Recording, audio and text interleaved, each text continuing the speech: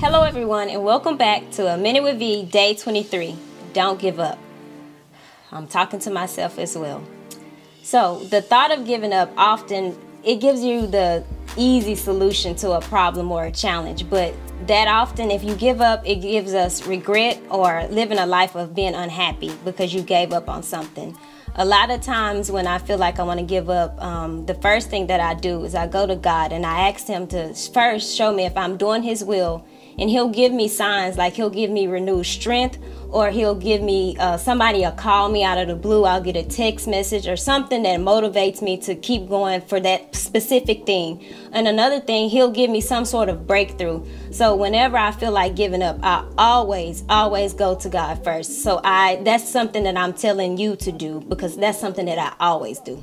Remember the road to success is going to have its ups and downs it's going to be hard work but you got to believe in whatever it is that you're trying to achieve and that's the only way that you're going to see through. And again you ask god to show you or give you signs and it, it, it'll let you know whether or not you do need to keep going. But i'm telling you don't give up.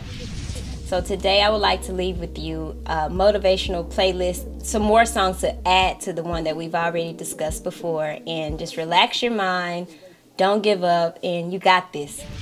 And our scripture for today is Galatians 6 9. Let us not become weary in doing good, for in the proper time he will reap a harvest if we do not give up.